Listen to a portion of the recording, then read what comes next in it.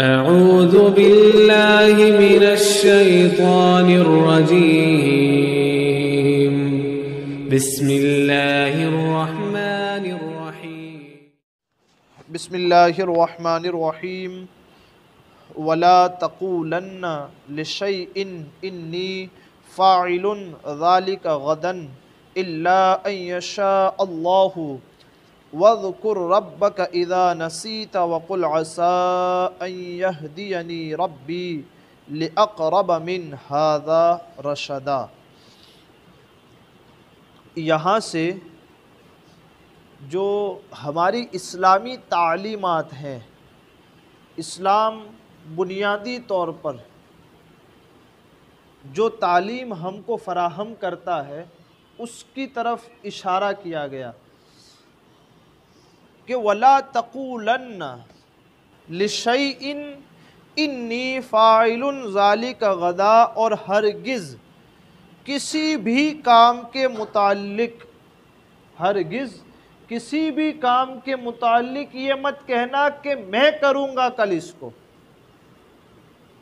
तवज्जो से सुनिएगा इसको।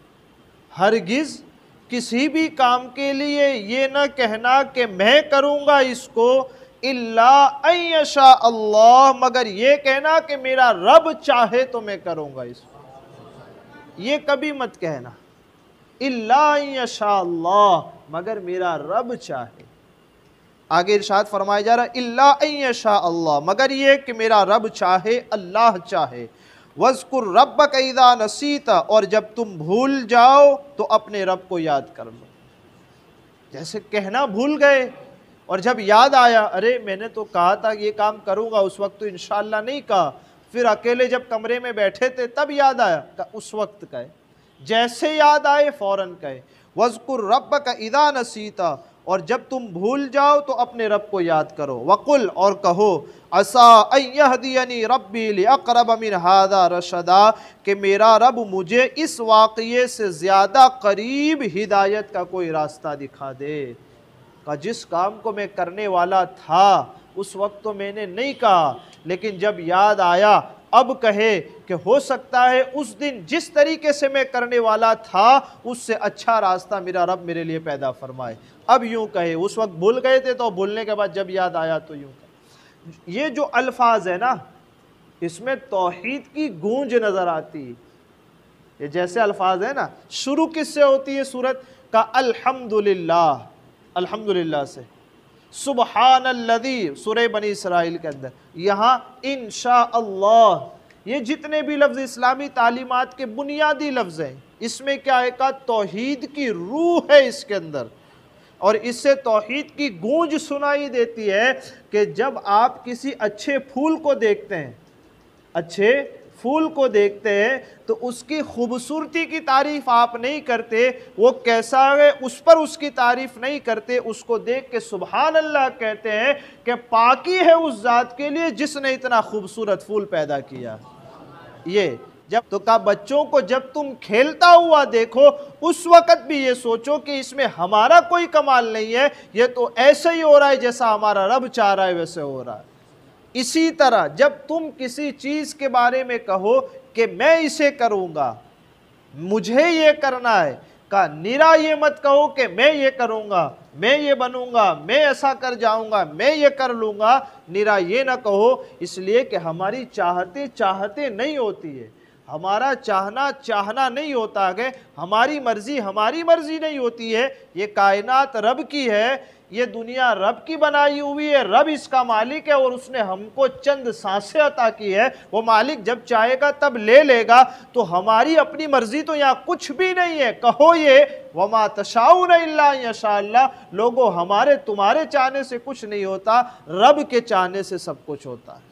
तो जब कहें कि मैं ये करूँगा, कभी अपने लफ्ज़ से ये, अपनी ज़ुबान से ये लफ्ज़ ना निकाले, मैं ये कहूँ, करूँगा। ये कहें कि मैं ऐसा करूँगा इन अगर मेरा रब चाहे। ये बुनियादी तालीम यहाँ दी गई हर मामलात में, तमाम मामलात में, बेहतरीन चीज़ देखे तो सुबहान अल्लाह बुनियादी तालीम ये दी गई है। अनोखी चीज़ आए, खूबसूरत नज़ारा आए, का माशा बुरी खबर आ जाए, का इन्ना व इन्ना राज़ी तेरी ही तरफ़ से आए थे तेरी ही तरफ़ वापस गए। का ये सब इस्लाम की बुनियादी तालीमत है जिससे हर लम्हा बंदा अपने रब से करीब रहता है और जुड़ा हुआ रहता। है जिसकी ज़ुबान पर कभी सुबहान अल्लाह नहीं आता, जिसकी ज़ुबान पर कभी अल्हम्दुलिल्लाह तक का लफ्ज़ नहीं आता, क्या कभी उसको आपने नमाज़ पढ़ते देखा है? वो रात रात भर बातें कर जाते हैं कभी अपने रब का नाम नहीं आता उनकी ज़ुबान पर। का यही तो चीज़ है, ये बुनियादी तालीम है कि हम इस कायनात को देखते हैं, मिलने वाले से मुलाकात भी करते हैं, लेकिन हर लम्हा ये कलमात है जो हमें अपने रब से जुड़े हुए रखते हैं। अल्हम्दुलिल्लाह सुबहान अल्लाह अल्लाह अकबर माशा अल्लाह वला क़ुव्वत इल्ला बिल्लाह, इन्ना लिल्लाहि व इन्ना इलैहि राजिऊन, ये सब अल्फाज यहाँ बुनियादी चीज़, बुनियादी तौर पर इस बात को ज़िक्र किया गया। ये हुआ क्या था? असल में वाक़ क्या बना था? असहाब काफ के बारे में जब हजूर अली सलाम से पूछा ना, कि बताइए असहाब कहफ़ के बारे में आप क्या कहते हैं? हजूर अली सलाम ने कहा, कल आना मैं इसका जवाब दूँगा। हुजूर अली सलाम ने क्या कहा? कल आना मैं इसका जवाब दूँगा।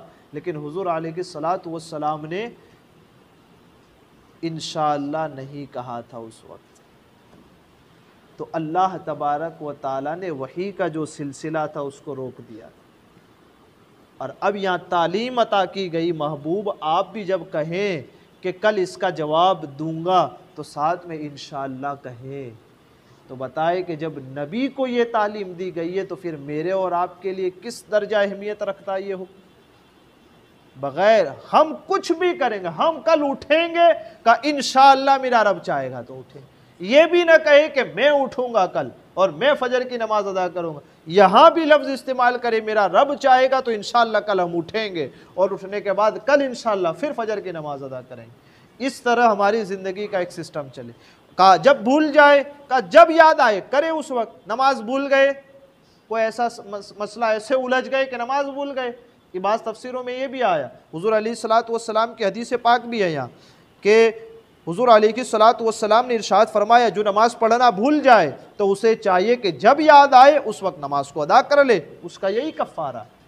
तो जिस मामले के लिए भी हम भूल जाए का जैसे याद आए फ़ौर अपने रब को, अपने रब को याद करे, अपने रब का नाम ले उस वक्त। और दुआ भी साथ में ये करे कि हो सकता है, मैं जब नहीं कह पाया तो उसमें मनफात फ़ायदा कम हो, मैं भूल गया। अब जब कह रहा हूँ, उस कहने के सबब मेरा रब उसमें मेरे लिए और फ़ायदा पैदा फरमा दे। यूँ कहे, वकुल और यूँ कहे, करीब है। यानी असहाब कहफ़ का जो जवाब हजूर आल की सलात वसलाम ने दिया, किन को? कुफ़ार मक्का को। कहा, ये कुफ़ार मक्का को जो असहाब कहफ का जवाब देना है, तुम तो अभी ये समझते हो कि मैंने सिर्फ़ इसका जवाब दिया है। अल्लाह ताला मुझे ऐसे ऐसे ूम अता फरमाएगा और अता फरमाए अल्लाह ताला ने कि इससे भी ज़्यादा खुल करके मेरी नबूवत तुम्हारे सामने ज़ाहिर हो जाएगी। तुम्हारे लिए मेरा, मुझ पर ईमान लाना और खुल जाएगा। चाँद के दो टुकड़े नहीं हुए। हज़रत नू सलाम और हज़रत आदम सलाम के ज़माने की भी खबरें हजूर सलाम ने अता फरमा दी। और इतना नहीं, हजूर सलाम की नबूत और रिसालत पर तो जानवरों ने आके भी गवाहियाँ दी। का ये इस वाक्य के बारे में तुम पूछते हो कि ये नबूत की दलील बनेगा? का इससे भी बड़े बड़े वाकयात रब मुझे अता फरमाएगा, जिसके ज़रिए मेरी रिसालत नबूत वाज हो जाएगी अब फिर किसी दलील की ज़रूरत नहीं पड़ेगी। अब उसके बाद एक और बात है, उसको भी समाप्त कर लीजिए। वलबिसु फ़ी कहफ़िम सलासमीतिन सिनी नवजदादू तिसा और वो जो असहाब कफ अपने गार में रुके थे, कितने साल? कुरान मुकद्दस कहता है, तीन सौ साल ठहरे और नौ साल उस पर जायद। यानी तीन सौ नौ साल वो उस गार में रहे। यहाँ पर नसरानियों ने ये कहा था, इसके जवाब में नसरानियों ने क्या कहा कि असहाब काफ तो तीन सौ ही साल रहे हैं गार के अंदर। इसके जवाब में अल्लाह तबारक व ताली ने यह आयत नाजिल फरमाई कि तुम ये कहते हो तीन सौ साल, हकीकत में वो तीन सौ नौ साल असहाब कहफ गार में ठहरे रहे। आगे इरशाद फरमाया जा रहा है कुल्लाम बिमा लबिसू लेकिन लोगों, तुम्हारा ये काम नहीं है।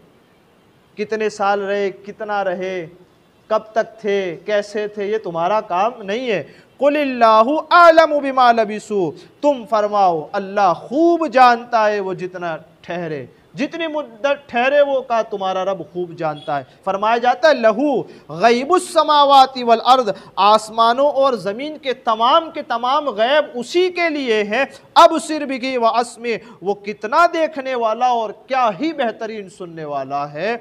और फरमाया जाता है, मा लहुम मिंदूनी ही मिन वली वला युशरिकुफ़ी हुक्म ही अहदा, उनके लिए असहाब काफ के लिए, उनके लिए अल्लाह के सिवा कोई मददगार नहीं। वला युशरिकुफ़ी हुक्म ही अहदा, और वो अपने हुक्म में किसी को शरीक नहीं करता। जो आखिर में बात थी ना वकुलहमदिल्लाम वलदन वलम यकुल्लहु शरीकुन। न उसने अपने लिए बेटा इख्तियार किया, वलम यकुल्लहु और नहीं उसका कोई शरीक है। इसी बात को फिर यहाँ दोहराया जा रहा है, वला युशरिकुफ़ी हुक्म ही अहदा, और उसकी सल्तनत में, उसकी हुकूमत में, उसके अहकाम देने में उसका कोई शरीक नहीं, वो अकेला है, तनहा है, और ताकतवर है, मददगार हिमायती से पाको बेनियाज है। अल्लाह तबारक व ताली इन कही हुई सुन कही सुनी बातों पर हम सबको अमल करने की तोफ़ी अता फ़रमाए। हमारे कहने, आपके सुनने में आमदन, सहवन कोई ख़ता हुई हो, अल्लाह जवजल अपने हबीब के सद के उसे माफ़ फरमाए। अस्तफ़िर